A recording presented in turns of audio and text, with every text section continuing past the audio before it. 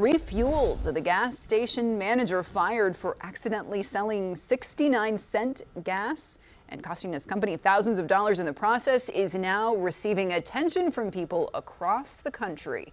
And through hundreds of donations, he's raised that lost revenue back. CBS 13 Steve Large is live in Rancho Cordova with a follow up to the story you first saw right here on CBS 13.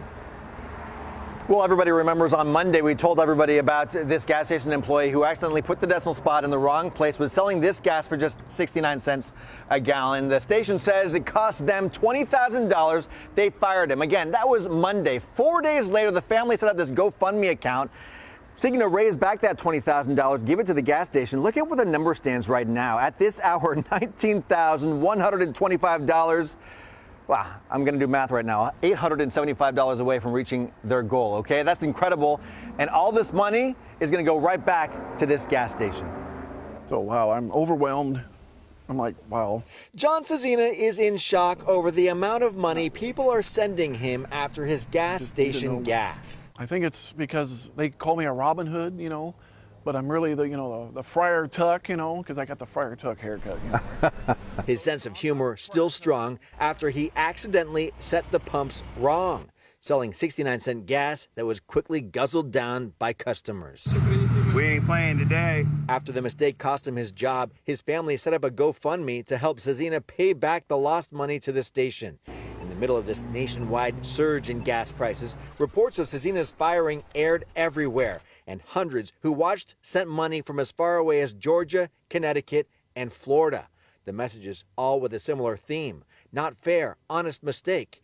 An honest mistake, sending love and prayers. And honest mistake, hope he hits his goal and gets his job back you know, I didn't think it would take off like a rocket like that. He really had a good attitude about the whole thing. Daryl Sarita donated $160 to the GoFundMe account. Sarita was one of the customers who bought the 69 cent gas and then found out Szczesna was fired. When I found out it wasn't a glitch and it was somebody that had to take responsibility, I just kind of felt bad for him. All these people are saying good things to me. A sense of solidarity with this fired gas station manager after feeling the emptiness of unemployment. Thank you very much for, you know, helping me out, you know.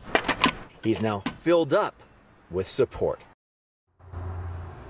I got to tell you, just in the minute and a half that that story was airing, another $20 raised. So 19,145, uh, 875 donors. And I'm looking at the donations. We're talking about $5, $10, $7. Uh, pretty incredible uh, how much people really empathize with John in this story. Well, Steve, couple questions here. One, will the gas station give him his job back if he gives that money? Two, does he even want his job back at this point? And three, is anybody else rushing to offer him a job? Well, you know, actually, he has a, uh, an interview tomorrow. He told me about. He's going to wear his nice shirt. Uh, I won't say the company that's uh, interviewing him, but uh, he does have that lined up. He has been trying to reach out to the owners here to see how can he present this check to them, and they haven't responded to his messages yet. Hmm. I reached out to them, no response uh, to me either. Uh, he's open to hearing if they want to give him his job back. At this, at this point, he's looking for any offers he can get.